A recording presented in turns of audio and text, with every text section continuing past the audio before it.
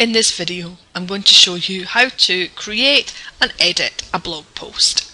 So first of all to create a blog post there are two ways. You can either go new and post and or you can go to your dashboard and post and add new.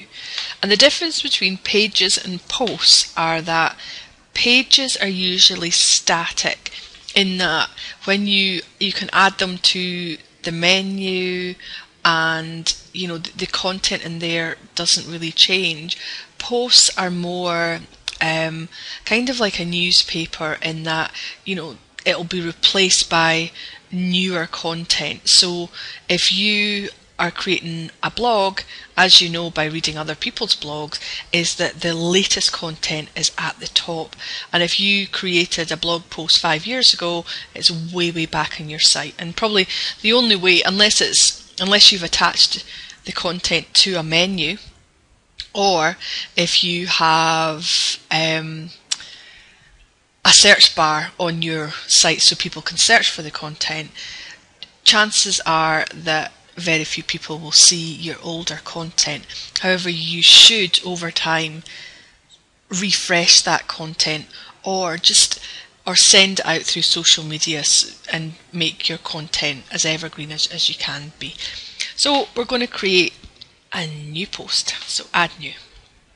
And as this is a new site, and I'm presuming that the fact that you're watching this video is that you're creating a new website, is think about your content. Don't just. I know that it's um, there'll be a, an urge to just get your website up as quickly as possible, or on the other side is you want to make it as perfect as possible before actually launching it. Please don't do that either. Um, think about your the content that you want, that your blog post, what is going to show you off as an expert in your field. What's going to make your visitors read your blog post and go, she understands me, or he. Um, just write a post that you know speaks from your heart and shows your personality. Um, when I first started blog post blogging, is it, it probably was a bit clinical. It it didn't really have my personality. It was just you know the facts and whatever. But the more I've, I've been blogging recently, is I'm sort of putting my opinions across and you know making it all colourful and whatever. And that's one of the reasons that we've installed the Ultimate TinyMCE plugin so that you, you can make your blog posts stand out. You know, we'll, we'll talk about adding images later on, um, but right now, just a blog post. So make sure that your title is something that will make your visitors or your Win Win Ideal clients want to click through to your post. And um, how to set up a word Let's give it the proper title. Word. Oops. Press blog. And let's give it some capitalization. And when you come here, and now you can see that it shows up here. And you can add your content. Now,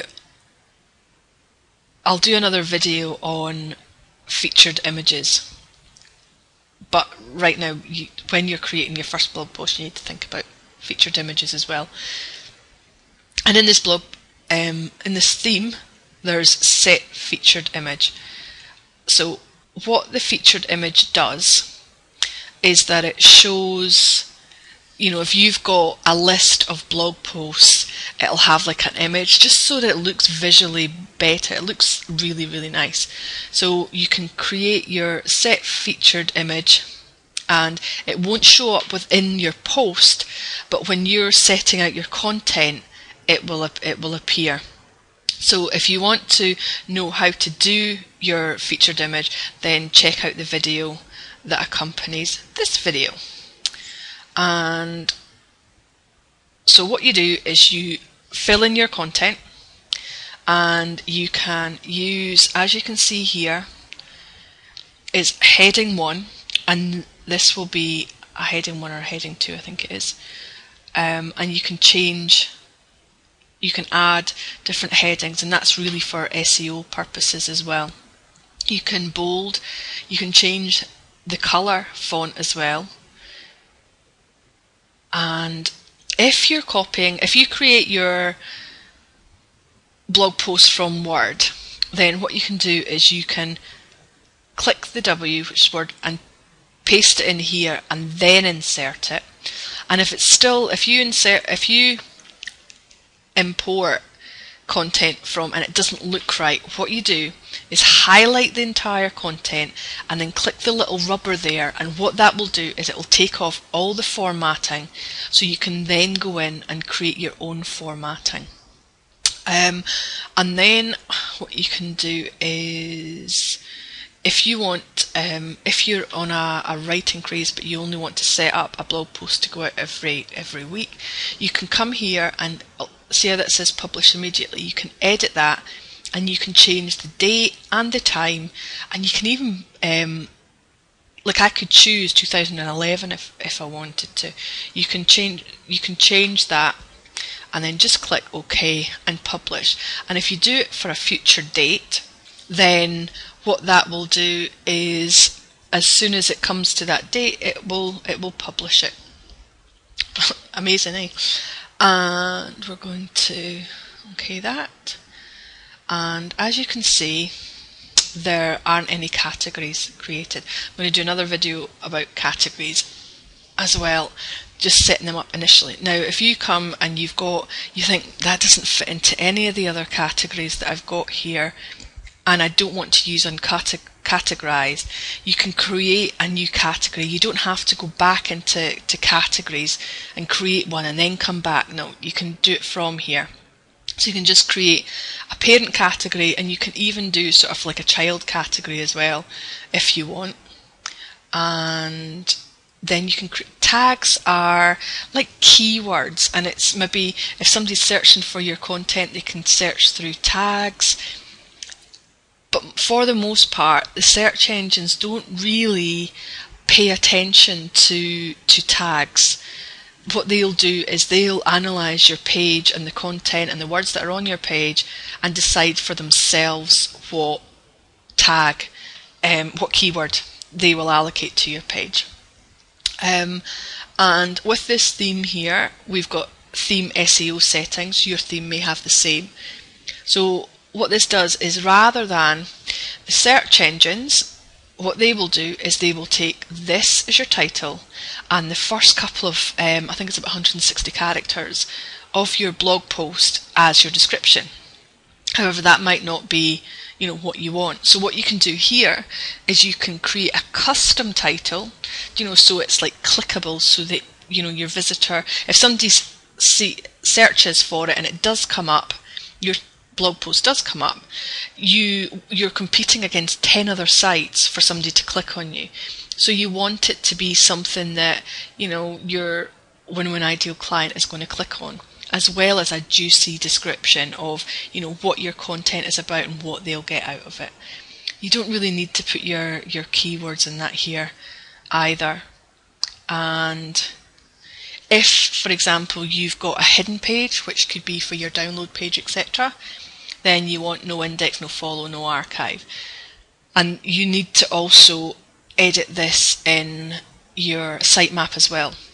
But for posts, for the majority, you'll want to have it indexed in, by the search engines. And that's really all you need to do to create a blog post. Put your featured image and create your blog post here and then click publish. And that's all. And you can see that as I didn't choose another category, it automatically goes into uncategorized. And you can change that later on as well. So that's how you create a blog post. And although there's no content here, we'll just update it and put some rubbish here and update. And then what we're going to do is we are going to view this post. So again, right click your mouse, open new tab. And here we go, you've got date. author and leave a comment and you've got your comments here and there's the content here filed under categorize. Now if you want to edit there are several ways. Usually um, there is, there's not at the bottom, but you can edit here. Or you can edit at the top or what we're going to do here is go to all posts. And when it comes up you can edit it here as well. And that's basically how you can create and edit a blog post.